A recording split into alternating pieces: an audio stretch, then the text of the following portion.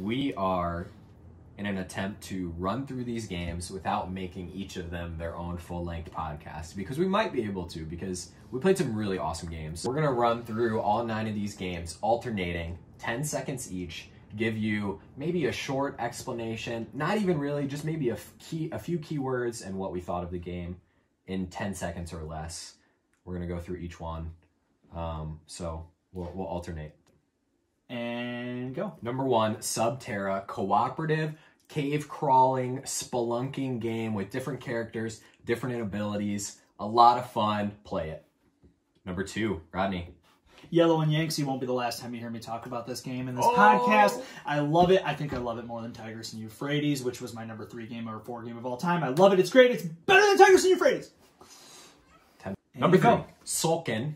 Uh, put your workers on those gears. Let them come around. Get the biggest benefit. Get that corn. Give it to the gods. Get the Let- most points. Rodney wins. Nice. Number four. Number four, Scout. Love this game. It's it's the number one game I'm looking for right now. I want to Wow. play Scout all the time. I think my family would like it.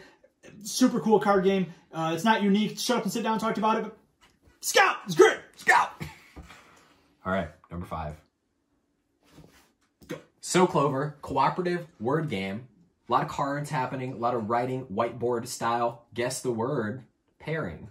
It's awesome. It's a lot of fun. Stop. so clover, is so good. Um, Number six. Summit. I own Summit. I really uh, enjoy it. It was not my favorite play. I don't want to play with six anymore. I gotta stop playing with six. Uh, but I I love it. It's a great storytelling game. Climb that mountain. This. I was so close. Got One. to base camp and died. He started. He started at base camp. Wilma. There are forks in the drawer right to your left. She was. Oh no. She was brave. yeah, no can opener. was Just fell over. 79 kilograms to start. Who knows how much she weighs now? Who knows how much she weighed then? We don't know kilograms. What are you Nothing. Just double. Number seven, Love Letter Batman. It's Love Letter with Batman. It's a lot of fun. He did it. He did it like four and a half seconds. The whole game explanations in the title. That's it. Uh, we earned some time back. Oh, I get to talk about this one. I wish I could talk about this one because this one's awesome. Jump Great. Out was so much fun. It it's might be my favorite dexterity game I've ever played. It was so many different game modes, and that's what was cool about it. My favorite one was probably the last one we did. Uh, tense fun, love it. This one.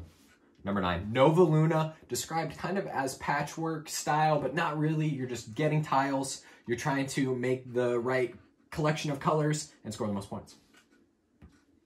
Um, of those nine, is there anything you're you're just meh on? Love Letter Batman, I think that was more for the sort of the it factor of like it's Batman and you can't get this game really. Have you all. played Love Letter before? I have. I've played Love Letter a few times. I like Love Letter. It's great, yeah, it's Yeah. just it's a classic. and you can paste any theme on, so Sure. why not? Batman? Yeah, and they did. They literally didn't change the rules or the powers yeah. at all. So it was just Love Letter with a Batman theme. So kind of every other eight, I would be happy for that to be in my collection of games. Yeah. Um gosh, it's even it's hard to even say so clover. We've got such a good mix of games on here. Yeah. We've got cooperative dexterity, or, or sorry, competitive dexterity, cooperative spelunking.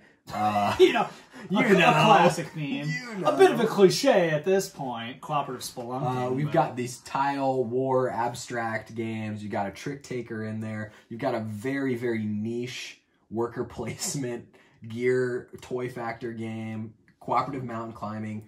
What like we played one of the most diverse Yeah. slew of games that we probably could have strung together.